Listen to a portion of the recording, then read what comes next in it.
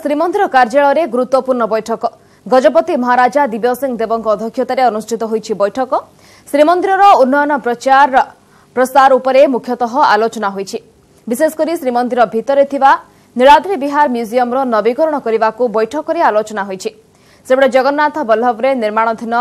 ବ୍ୟାଖ୍ୟାନ କେନ୍ଦ୍ର ଉପରେ ହୋଇଛି ସମୀକ୍ଷା ବ୍ୟାଖ୍ୟାନ କେନ୍ଦ୍ରରେ ଶ୍ରୀଜଗନ୍ନାଥଙ୍କ ଐତିହ୍ୟ ପରମ୍ପରା ଓ ଲୋକସଂସ୍କୃତି ଜାଣିବା ପାଇଁ ବ୍ୟବସ୍ଥା ହୋଇଛି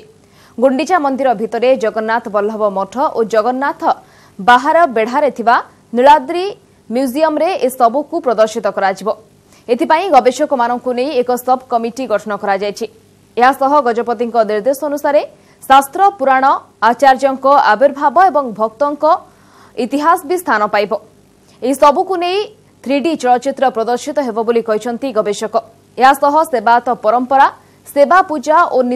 को प्रदर्शित हुन्छ बैठकले श्रीमन्दिर मुख्य प्रशासक Pradipta Mahapatra NALCO GM tourism MD परिचाहना committee सदस्य महिमोहन त्रिपाठी पूर्वतन मुख्य शासन सचिव सुबास पाणीत प्रतिनिधि उपस्थित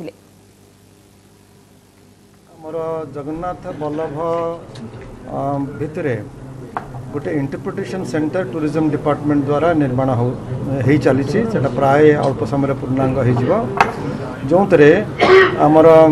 पर्यटक मैंने भक्त मैंने जो मैंने आसवे श्रीक्षेत्र को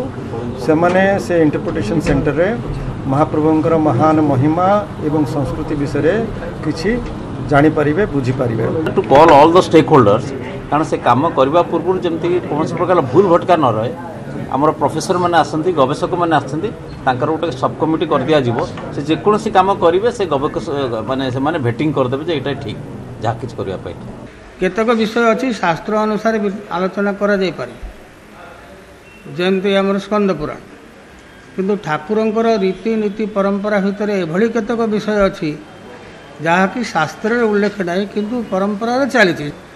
सब कथा को दृष्टि रखी आ एक तुलनात्मक विचार कर विषय रखा बोली